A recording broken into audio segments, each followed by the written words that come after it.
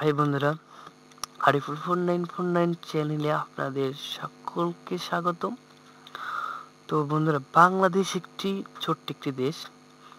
তো এই দেশে অর্থাৎ আমাদের বঙ্গবন্ধু স্যাটেলাইট উৎক্ষেপণ করা হবে মহাকাশে।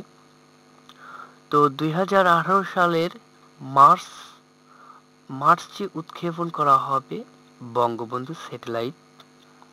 ডাক, টেলিযোগাযোগ ও আইসিটি মন্ত্রী মোস্তফা জব্বার বলেছেন, আগামী ছাব্বিশ থেকে একত্রিশ মার্চের মধ্যে বঙ্গবন্ধু স্যাটেলাইট বা কৃত্রিম উপগ্রহ মহাকাশে উৎক্ষেপণ করা হবে। মন্ত্রী, বর্তমান সরকারের দ্বিতীয় মেয়াদের চার বছর পূর্তি উপলক্ষে মন্ত্রণালয়ের কর্মকর্তা পরালোচনার আয়োজিত এক সংবাদ সম্মেলনে একথা বলেন। তিনি বলেন, আগামী ছাব্বিশ থেকে একত্রিশে মার্চের মধ্যে স্যাটেলাইট উৎক্ষেপণ করা হবে।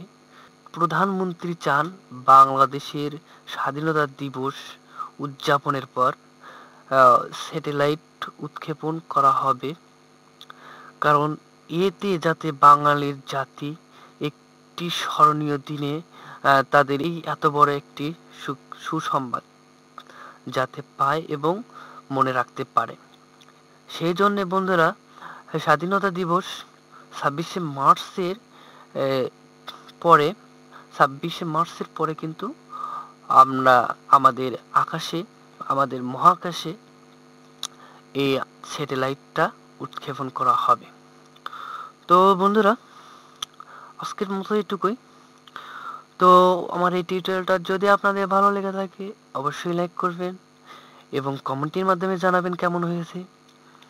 এবং বন্ধুরা, আরেকটা কথা, আমার চ্যানেল এখনও যারা সাবস্ক্রাইব করেননি দয়া করে সাবস্ক্রাইব করে নেন এবং নতুন নতুন আরও কিছু জানবার জন্যে।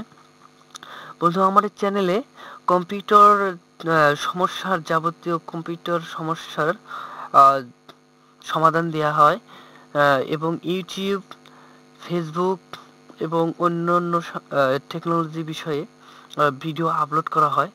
তো বন্ধুরা সকলে আশা করি বিষয়ে আরও বিস্তারিত জানতে পারবেন আমার চ্যানেলে তো বন্ধুরা, আজকের মতো এখানেই। তো পরবর্তী টিউটোরিয়াল দেখার আমন্ত্রণ জানিয়ে আজকের মতো এখানেই বিদায় নিচ্ছি। আল্লাহ হাফিজ।